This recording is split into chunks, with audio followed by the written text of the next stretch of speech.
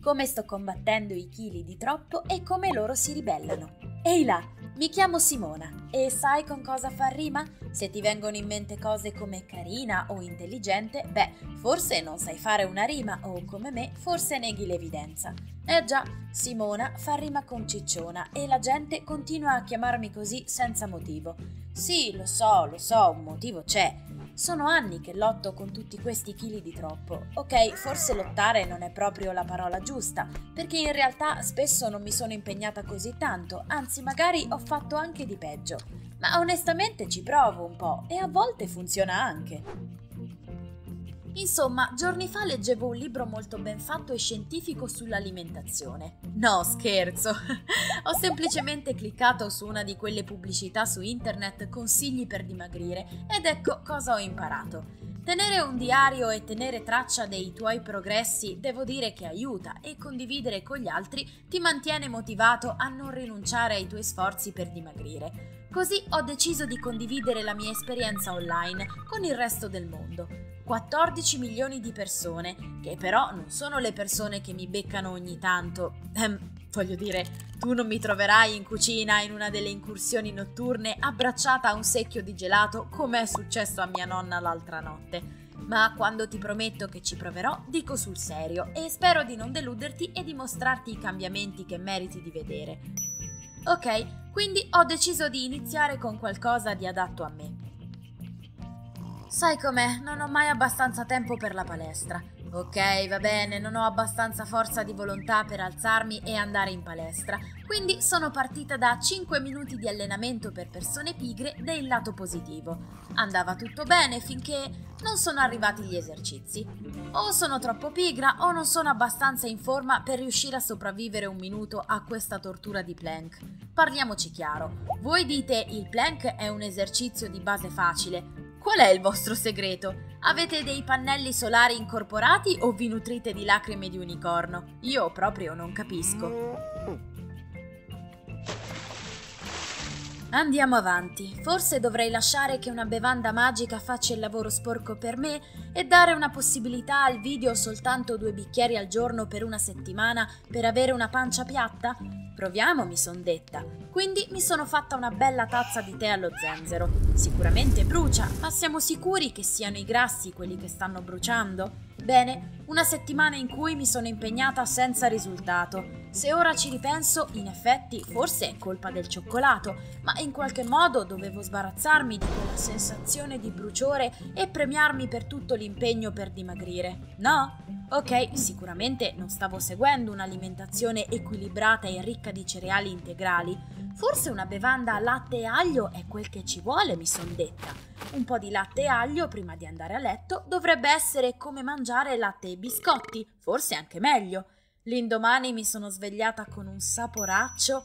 Erano latte, aglio e biscotti, sì, devo ammetterlo.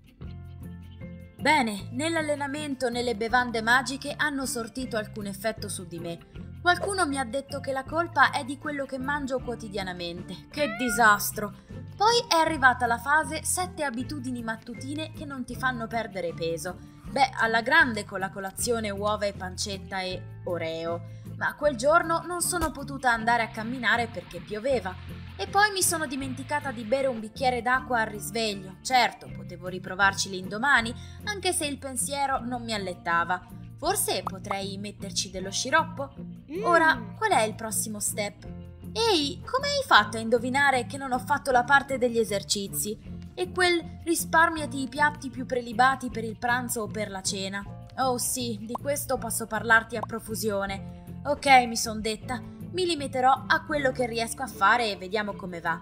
A quanto pare l'esercizio fisico a qualcosa deve servire, dato che continuo a vedere che tutti lo fanno o che comunque pubblicano foto mentre lo fanno. Ti ricordi che io e il plank non andiamo tanto d'accordo, vero? Ebbene, ho trovato degli esercizi senza plank. Niente da fare, io proprio non ce la faccio a non inventare scuse per saltare l'allenamento. Una volta ho anche inventato di essermi buscata un raro virus tropicale mentre ero in campeggio in Loa. Così, tutto a posto. Beh, a mali estremi, estremi rimedi e per una che ama così tanto il cibo c'è solo un rimedio, il digiuno. Onestamente non penso di poter sopravvivere al digiuno, tipo che so, una settimana senza cibo, quindi ho deciso di optare per il digiuno intermittente. In questo tipo di digiuno devi scegliere un modello, tipo il modello 16-8 o il modello 5-2 e udite udite il mangia pausa mangia, il mio preferito solo per come si chiama.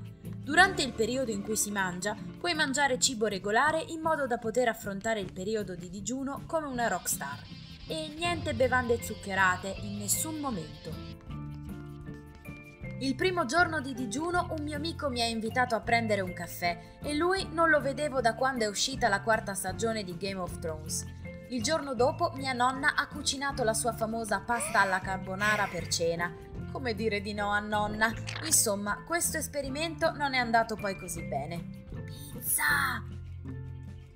Ok, forse ho solo bisogno di più motivazione. Sarò come una di quelle modelle blogger e creerò una mappa dei desideri, una sorta di collage di tutte le cose interessanti che riuscirò a fare quando avrò il corpo perfetto.